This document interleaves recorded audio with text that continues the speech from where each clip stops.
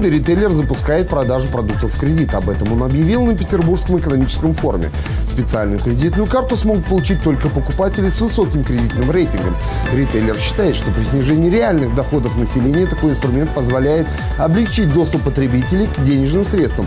И это позволит поддержать спрос на товары повседневного спроса. Так и встали с колен. В эфире программа «Что произошло?» и мы начинаем. Недавно наша съемочная группа побывала в небольшом городке Камышлов. Увиденное шокировало. Еще никогда на наших глазах чиновники и правоохранители так не оборонялись от журналистов. Сотрудники городской администрации разбежались как тараканы, а прокурор прикрылся судебными приставами. Впрочем, смотрите сами.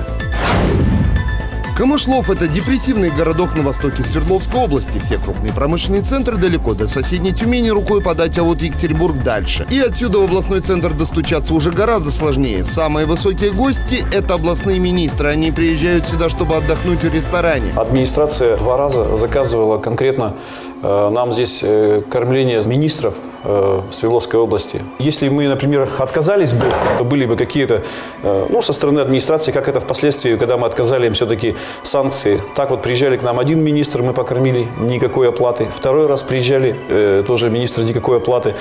И даже тишина даже не предлагает. Одним из отведавших угощений был министр строительства Свердловской области Михаил Волков. Он приехал посмотреть на то, как с колен поднимается местный рынок доступного жилья. В этом доме каждая квартира продана двум, а то и трем людям. Обманутые дольщики и пайщики уже третий год собираются в подвале и записывают всякие обращения. Мы обращаемся к генеральному прокурору России Чайке Юрию Яковлевичу. А к местному прокурору обращаться бесполезно. Вот он красавец какой. В кабинете у него, как обычно, тусуется бывший начальник полиции Владимир Шкаев. У нас э, бывший начальник полиции Ишкаев, они как бы и прокурор, они как бы действуют в одной связке. И в этом, в принципе, знал весь город. То есть они собираются в прокуратуре, там у часто видим машину Кашкаева прокурора, хотя он уже не начальник полиции.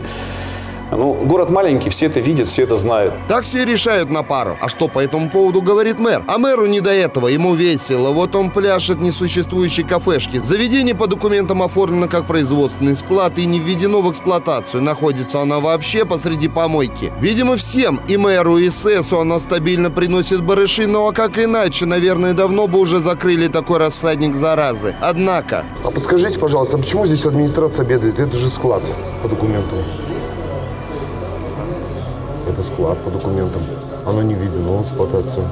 Но это не беда, главное дружить с кем надо. Может быть, прокурор ответит на вопрос, почему в городе такое беззаконие. Но к прокурору сначала нужно попасть. Однако вот с этим-то как раз проблема. Его охраняют, как ни странно, судебные приставы, которые не очень-то дружат с законом. Точнее, скорее всего, и не знают его. Они понимают только две команды – вкл и выкл, то есть пропустить и не пропустить. Самое, что ни на есть аналоговая система. С Мартом здесь и не пахнет. Впрочем, после визита Росгвардии нам все же удалось прорваться. Система государственных органов и их проверяющих в городе Камышлов Свердловской области напоминает паноптикум.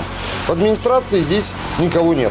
В прокуратуру просто так не пройдешь. Если прошел, то принять тебя будет некому. А если даже чудом и приняли, то ответов на свои вопросы ты просто не получишь. В прокуратуре закон вообще не действует. Если у вас такие соответствующие есть а, запросы, то, пожалуйста, вы их направьте в прокуратуру области. При наличии указаний мы вам сообщим данную То есть на наш информацию. запрос вы не ответите? А где ваш запрос? Статья 39, 47 Закона о средствах массовой информации, устный запрос Я вам еще раз Сейчас говорю. считайте, вы сделал.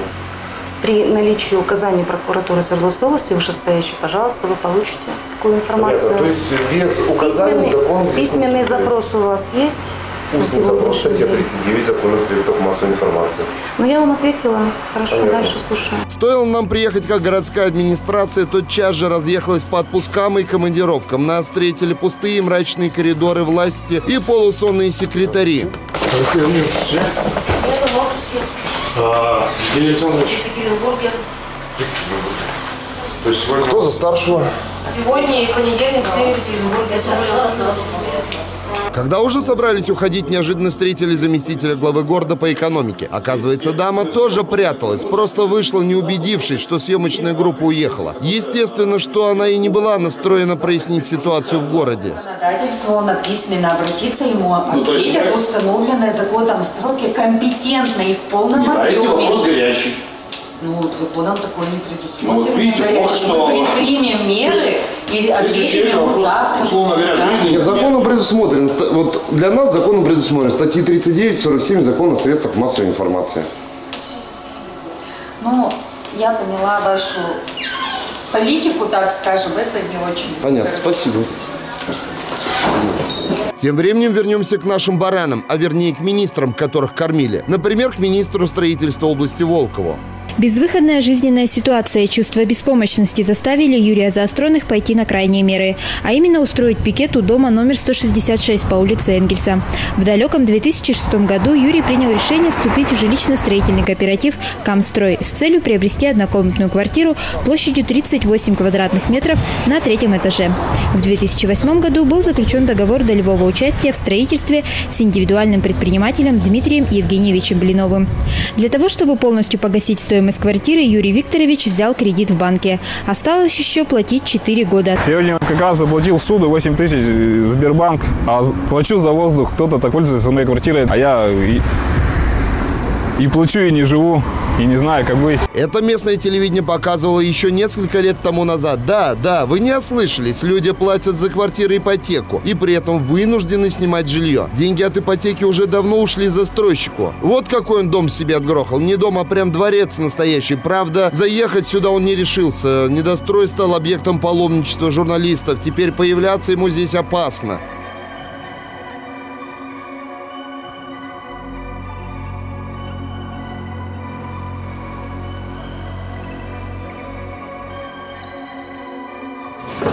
Я застройщик. Застройщик кооператив Комстройта. А обманутые блиновым дольщики живут в тесноте да в нищете. Кровать у нас э, купить не можем, спим на, чё- на чем есть. Э, де- дети спят, трое детей спят на двухъярусной кровати. Э, девочки спят вдвоем наверху, потому что не на что приобрести, допустим, еще одно спальное место, да и ставить некуда. Сын старший спит внизу на кровати. Виолетта, почему мама тебе ничего не покупает вкусненького?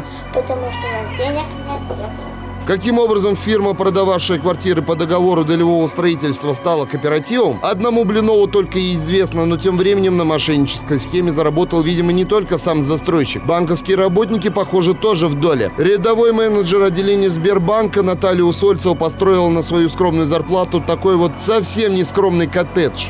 В этом доме живет э, кредитный инспектор э, Усольцева Наталья. Отчество я не помню. Кредитный инспектор, которая оформляла большинство э, кредитных договоров по ипотечному кредитованию. Принимала все липовые документы от Блинова. Вместе с обманутым дольщиком идем к ней в гости. Мы хотим задать резонный вопрос, почему кредит получила левая фирма, куда ушли деньги и сколько еще платить. Естественно, что поговорить с нами не желал никто. Вот именно здесь все и происходило. Именно в этом отделении Сбербанка и заключались ипотечные договоры на покупку уже проданных другим людям квартир. Предмет залога, естественно, не проверялся. А, Сказать, что возмущен, а, это не сказать ничего. Вы понимаете, мало того, что а, эта ситуация вся длится с 2013 года, и правоохранительные органы, к сожалению, несмотря на все наши обращения и даже на решение суда, где суд указывал на явную продажу, двойную продажу квартир, явное нарушение закона, причем систематическое. Полиция, в частности, э, начальник полиции, бывший э, полковник Шкаев, а, прокурор Боровков никак не хотели видеть этого преступления и заводить уголовное дело, которое бы своевременно позволило купировать эту проблему. И я думаю, что процентов на 30, на 40 не дало бы ей разрастись в таком количестве. И количество такого пострадавших, я думаю, что не было. К счастью, э, жители, которые пострадали от данных действий, они объединились. В какой-то степени мы им помогли объединиться. Мы прошли все круги ада, связанные с э, с доказыванием, с э, обращением внимания на нас. Это были митинги, это были пикеты, это были обращения в суды, это были обращения в правоохранительные органы и органы власти э, областной и федерального уровня, в том числе президенту Российской Федерации Путину Владимиру Владимировичу. В нашей стране система построена так, что э, фактически о людях думают в последнюю очередь. Это очень печально. А когда пришло время собирать камни, и мэры попросили заплатить за кормление чиновников, что инспектировали стройки мошенников, глава города очень сильно удивился. Абсолютно не могу понять, про каких вы министров все пытаетесь говорить, про какие там кормежки, кто вам там где задолжал. Нет, ну вы, у меня есть смс-сообщение, где мы конкретно переписывались с вами, мы вам оформляли э, конкретные банкеты, у меня есть люди, которые накрывали, есть конкретно э, видео, есть конкретно, где э, ваши министры кушают и сидят в ресторане, как бы это самое, как вы считаете? То есть вы, вы сказали, хотите сказать, что министров не было в ресторане, которых мы кормили? Ну, к вам приезжали. Ну, они кушали? Вы их обслуживали? Да. Вы рассчитались? Скорее всего, да. То есть вы рассчитались? Скорее всего. А как вы рассчитались? Как вы рассчитались? Чем, наличными или как вы рассчитались? Верно, вы сумму же говорите, рассчитывались. То есть вы сперва говорите, счета выставляли или не выставляли, а сейчас вы уже говорите, рассчитывались. Вы вот как-то так определились. То есть э, мы-то знаем, что вы не рассчитались с нами, а вы сейчас говорите, что уже как бы рассчитались. Так определились, что было-то? Рассчитались или не рассчитались все-таки? Ну, скорее всего, рассчитались. А, скорее всего, рассчитались. То есть за министров вы рассчитались? Конечно. Зато те, кто удовлетворяет запросы мэра, пользуются особыми привилегиями. Им можно и торговый центр построить без документов, можно и подряды получить.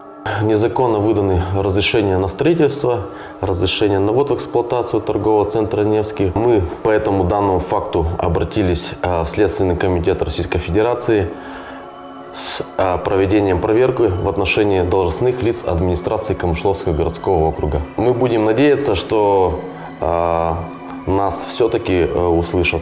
Тем, кто дружит с главой города Половниковым, разрешено творить и такие безумства. Вот это наш центральный городской парк города Камышлова, где была вырублена э, зелень. Да, парк был не, э, не убран, не, значит, не прибран, не благоустроен, э, но так как подошли к этому строительству, э, ну, звучит как минимум банально. То есть э, был вырублен, вся зеленка была вырублена, да, все было загрегировано, то есть никакого дренирующего слоя, никакого тебе щебня, никакой подготовки, просто была насыпана, насыпана земля, произведены элементарные работы с применением, э, вот видите, материалов самых элементарных, э, самых дешевых материалов. Вот вы можете посмотреть, э, где все уже потрескалось, ничто это не побелено, ни один бордюр не побелен.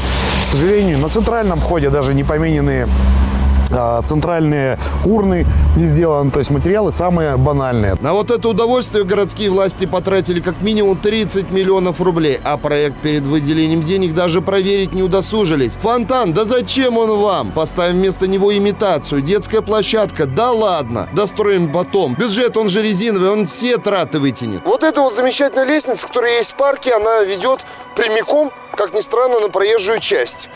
Перехода здесь нет. Вот мы поднялись, а дальше куда идти? Все остальные лестницы в этом парке точно так же ведут прямиком на проезжую часть. Вам нравится вот этот парк? Ну, так. ну... Раньше лучше было? Да. Протесты в столице Урала закончились. Народ победил. Журналисты начали пересматривать архивы и ужаснулись, когда выявили одного из главных провокаторов.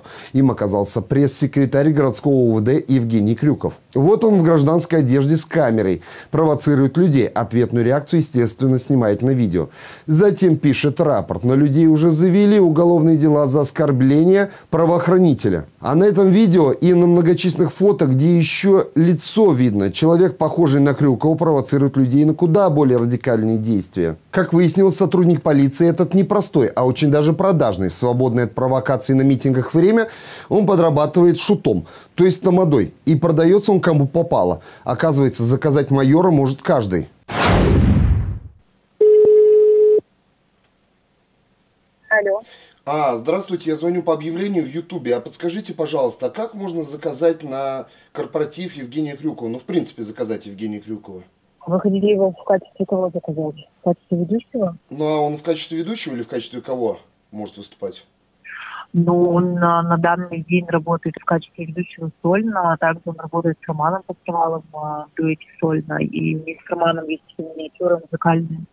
А подскажите, пожалуйста, а подскажите, пожалуйста, а он случайно не оскорбится, потому что он недавно привлек э, человека, за оскорбление свое по статье, потому что ведь на, дуэ... на любом корпоративе же могут быть и нетрезвые люди, и если что-то он ошибется, могут неправильно сказать, а он же сотрудник полиции, может взять и привлечь по 319 статье. Ну, простите, а вас как зовут? А меня зовут Анисимов Евгения, корреспондент э, телеканала Крик ТВ. Вот хотел узнать, как заказать сотрудника полиции. Оказывается, они тоже заказываются, как и девушки легкого поведения. Большое спасибо за информацию. Не за что. Всего хорошего. До свидания. До свидания.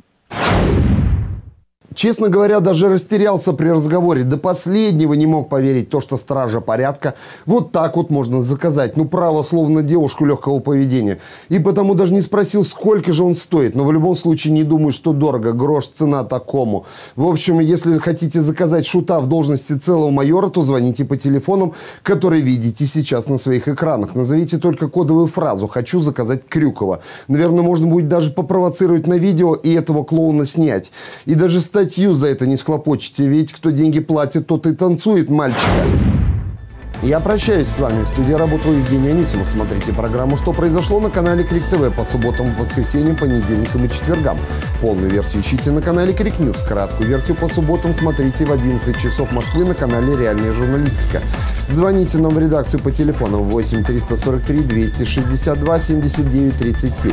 Пишите письма, ищите в соцсетях, добавляйтесь в друзья, сообщайте новости. Увидимся через неделю.